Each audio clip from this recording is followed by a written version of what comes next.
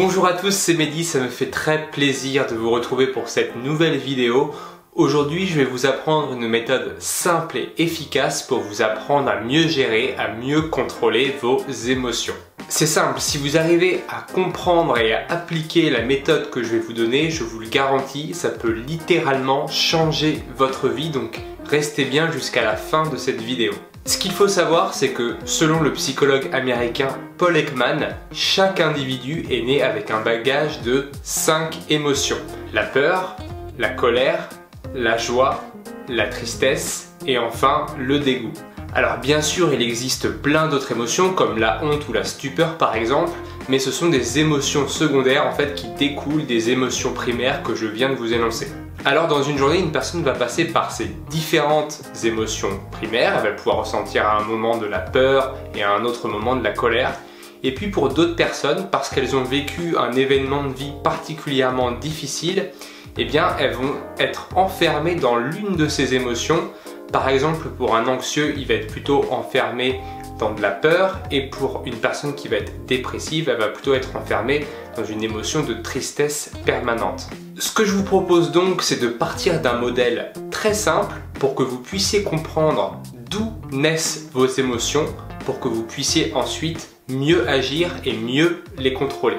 La plupart des gens pensent que s'ils sont tristes, anxieux ou en colère, eh bien c'est parce qu'il y a une situation ou une personne qui a déclenché justement cette émotion. Ce mode de fonctionnement, il est représenté par le schéma que vous voyez en ce moment à l'écran, à savoir une situation activatrice A qui déclenche une conséquence émotionnelle notée C. Donc je vais vous donner quelques exemples pour que vous puissiez mieux comprendre ce schéma. Donc je pars d'une situation, je me suis fait larguer par ma copine, situation activatrice A, je suis triste, voire pire, je fais une dépression, conséquence émotionnelle C.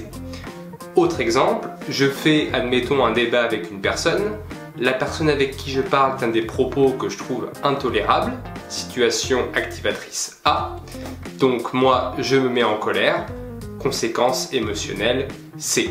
Ou encore, dernier exemple, je suis confiné chez moi pendant une pandémie de virus, situation activatrice A, résultat, je suis anxieux et j'ai peur, conséquence émotionnelle C.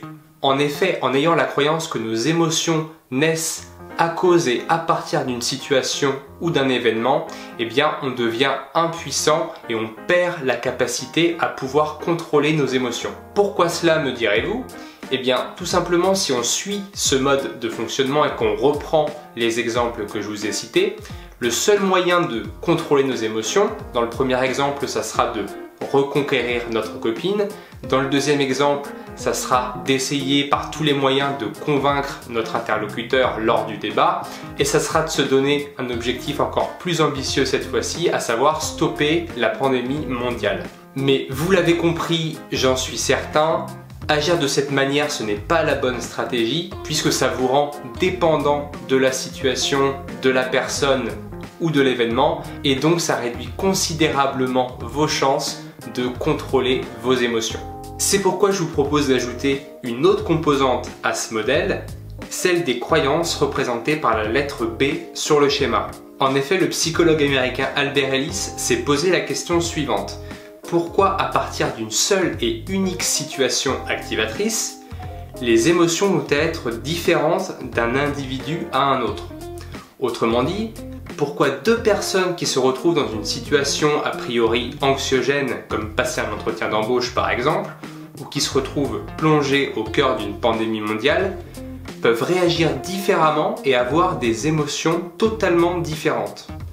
Pourquoi l'un va être détendu et l'autre complètement stressé et affolé? Eh bien la clé de l'énigme se trouve au niveau des pensées et de nos croyances. En effet, si vous êtes triste et dépressif quand vous faites larguer, c'est peut-être que vous vous dites que vous ne valez rien et que vous ne retrouverez jamais une personne aussi bien. Si vous êtes stressé pour un entretien d'embauche, c'est probablement que vous vous dites que vous êtes trop nul et que les autres candidats sont sûrement bien meilleurs que vous.